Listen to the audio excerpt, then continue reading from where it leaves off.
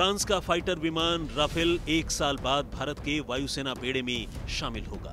Rafale के शामिल होने से हमारी हवाई ताकत दुगनी हो जाएगी। फ्रांसीसी तकनीक से बना राफेल लड़ाकू विमानों की चौथी पीढ़ी से ताल्लुक रखता है। यहाँ एक बात जानना ज़रूरी है कि दुनिया में पांचवी पीढ़ी के विमान सिर्फ़ अमेरिका के पास ही हैं। राफेल लड़ाकू विमानों को फ्रांस की डसॉल्ट एविएशन कंपनी बनाती है। ये एक बहुउपयोगी लड़ाकू विमान है। एक विमान की लागत करीब 70 मिलियन आती है। टू सीटर रफेल की लंबाई पंद्रह दशमलव दो सात मीटर है। रफेल की सबसे बड़ी खूबी यह है कि ये ऊँचे इलाकों में लड़ने में माहिर है।